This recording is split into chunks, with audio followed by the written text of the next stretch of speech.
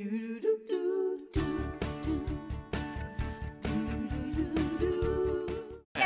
today we are celebrating Baby and here to show us a way to give the classic Baby rocking horse a 21st century upgrade and give your kiddo their very first set of wheels is Ken Wingard. Man, Ken, these are so adorable.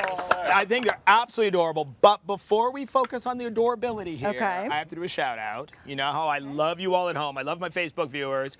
John Mears, Emporia, Kansas.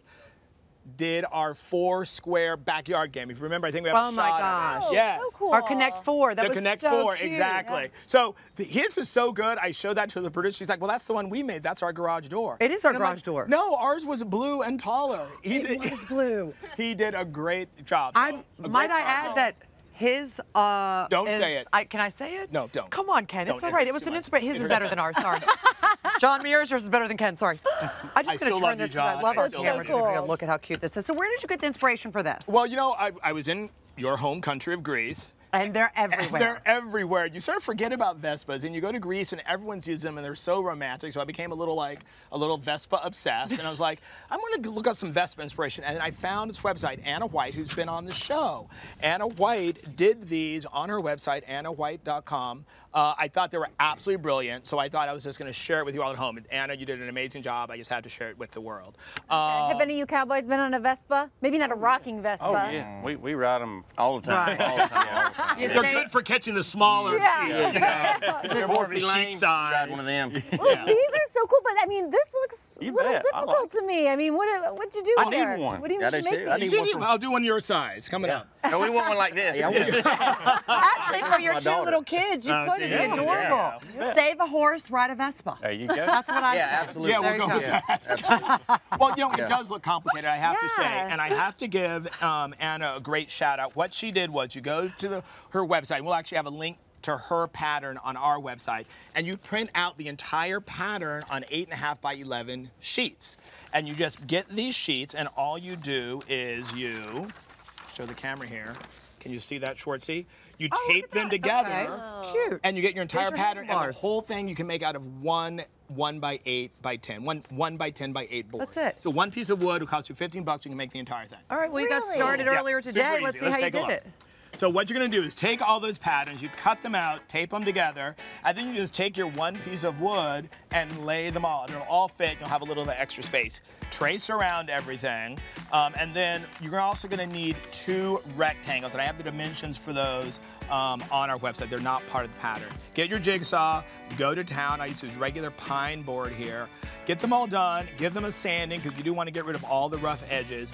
And then you'll see later their pieces are going to get get screwed in. I like to do pilot holes, and I just had a countersink bit on there so that those the screw heads will go in and they won't be anything to scrape. And then go ahead. I find it's easier to paint everything up front before assembling it.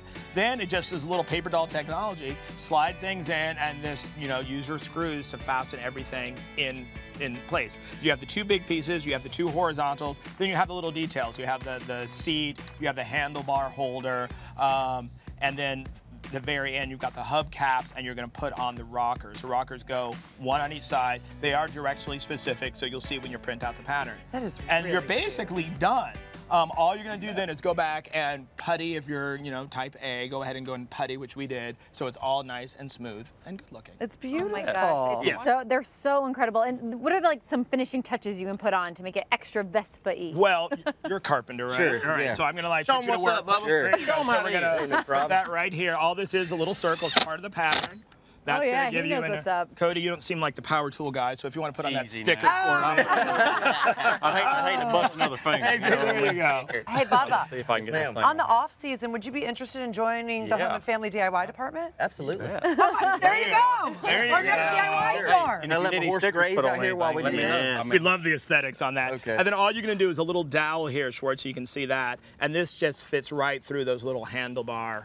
Just like that. Right, right like that. I mean, if you could, e- even if you wanted to like make it even more high tech, you could even put like some cushioning on here. And Oh, if you want, oh, a little like, If I'm yeah. ride, it's gonna You need to put a little saddle on here, like a little saddle. Have a little kid saddle. Oh, there you go. If we can get like, you know, pacifier, We like. just, I would like to take a look at the side by side with the real Vespa. Do we have that shot? Because that, look at that. Pretty Wow. cute, That is isn't it? super Pretty good. And then like little details like the chrome. I just did ours with like the paint pen to get the stripes on the side. Um, some people I've seen, you know, write Vespa on the front. I thought it would be a little bit cuter instead of doing that on the front to do little California license Oh, plates stop it. for the future owners. So I thought a Molly and an Alex would be absolutely perfect. And- Oh, Oh my those are your kids' names. Yes!